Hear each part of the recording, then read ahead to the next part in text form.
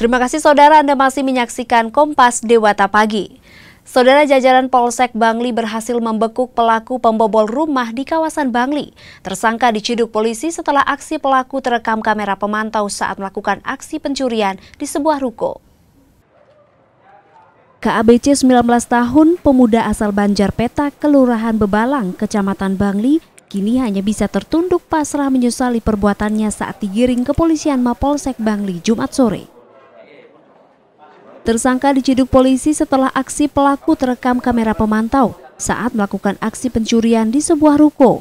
Selanjutnya kepolisian langsung melakukan pengembangan dan berhasil membekuk pelaku di rumahnya. Dari hasil penyidikan, pelaku mengaku telah melakukan aksi pencurian lebih dari lima kali dengan modus beraksi saat malam hari dan masuk dengan merusak jendela atau pintu. Ironinya, uang hasil curiannya tersebut dihabiskan untuk membeli berbagai kebutuhan berupa pakaian, sepeda motor, serta berpoya-poya. Belum sempat melakukan pencurian, tapi sudah masuk ke rumah korban. Jadi setelah dilakukan penangkapan, kemudian dilakukan interogasi dan pemeriksaan, jadi yang bersangkutan itu mengakui itu melakukan pencurian beberapa kali.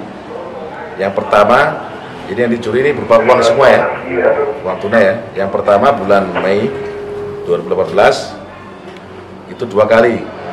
Yang pertama 3 juta yang ditaruh di laci, kemudian 5 juta yang ditaruh di lemari. Kemudian bulan Juni 2018 yang pertama gagal.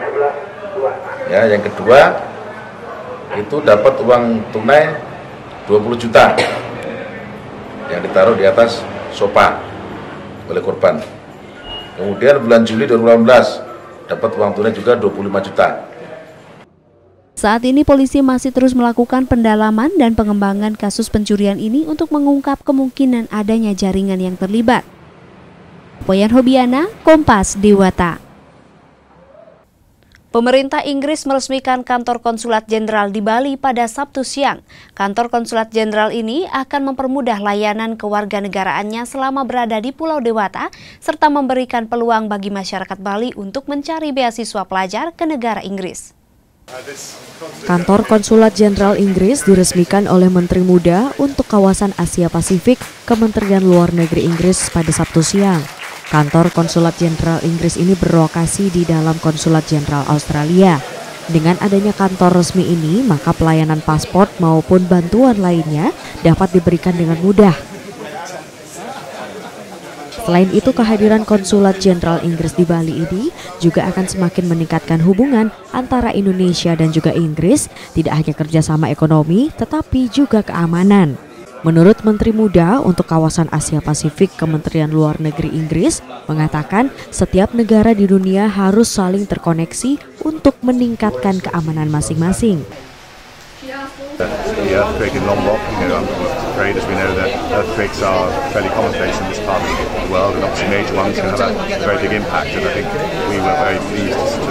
Uh, do our bit working together, as I say, with our Australian and recent friends to make sure that uh, the repatriation uh, of British citizens happened as quickly as possible, that we were able to uh, um, ensure that relatives back home in the UK were made aware of all that. And you know, we're living in a, a very networked world, and one of the things I think that, as a minister is slightly more highbrow is this idea of being able to work together. I, I had two days earlier in the week in Jakarta, um, meeting my senior government um, uh, counterparts, uh, talking uh, to, to them about the work that we can do together. Um, and a, a, lot, a lot of that obviously has a, an element, I'm afraid, of we like a lot of in security and defence and intelligence uh, cooperation. There's obviously a lot of economic cooperation. Selain itu, Mark juga berharap akan ada keberlanjutan kunjungan warga negara United Kingdom ke Pulau Dewata dan memberikan peluang bagi masyarakat Bali untuk mencari beasiswa pelajar ke negara tersebut. Ananda Bagus, Kompas Dewata. Saudara warga Desa Selat, Kecamatan Susut, Kabupaten Bangli, Bali dihebohkan dengan penemuan sebuah benda peninggalan purbakala berbentuk peti berbahan batu atau sarkofagus. Benda ini terkubur pada sebuah pematang sawah milik salah satu warga setempat. Setelah dibuka, benda purbakala yang diperkirakan telah berusia ratusan tahun tersebut ditemukan serpihan tulang dan lempengan batu pipih. Saat ini penemuan tersebut masih diteliti instansi terkait. Seperti inilah suasana di lokasi penemuan benda purbakala berupa sarkofagus di areal Subak Dugul, Dusun Selat Peken, Desa Selat, Kecamatan Susut, Kabupaten Bangli, Bali. Benda purbakala yang diperkirakan telah berusia ratusan tahun ini ditemukan dalam posisi terkubur di dasar pematang sawah milik Inengah Lodre.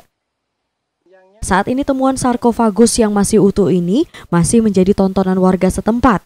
Untuk mengamankan penemuan tersebut dari tangan jahil, petugas bersama warga telah memasangi pagar pembatas dan mengikat dengan tali dan rantai.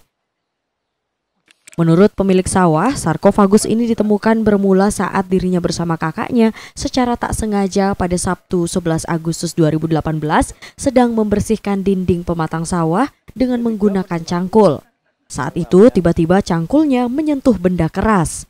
Setelah digali lebih dalam, ternyata benda keras itu berupa batu paras yang menyerupai peti mati. Selanjutnya, temuannya ini dilaporkan ke kelian desa setempat dan juga Dinas Pariwisata Budaya Bangli. Setelah itu, penggalian dan pengangkatan baru dilakukan pada selasa siang. Dari hasil pengukuran, benda berupa batu tersebut berukuran 100 cm kali 120 cm saat benda tersebut dibersihkan dan dibuka, di dalamnya ditemukan sejumlah serpihan tulang dan sebuah batu pipih berbentuk seperti kapak. Ceritanya saya membersihin pematang sawah ini, kakak saya membersihin pematang sawah dan dia nunjukin ada kok ada batu di sini gitu loh. Hmm. Ada batu di sini terus ditunjukin karena saking penasaran karena bentuknya saya terlihat unik gitu lah. Hmm. Seperti istilah Balinya itu kayak sendi dia kelihatan.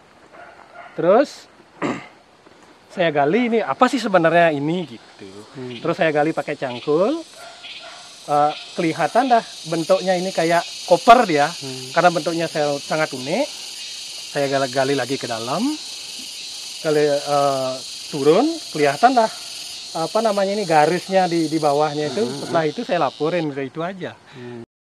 Untuk memastikan sejarah keberadaan temuan ini, Dinas Kebudayaan dan Pariwisata Bangli saat ini masih sedang berkoordinasi dengan Balai Arkeologi. Iwayan Hobiana, Kompas Dewata. Jangan beranjak dulu saudara, informasi DPRD Klungkung umumkan Suwirta menjadi pemenang pilkada dalam rumah pilkada akan kami hadirkan usai jeda berikut. Tetaplah di Kompas Dewata Pagi.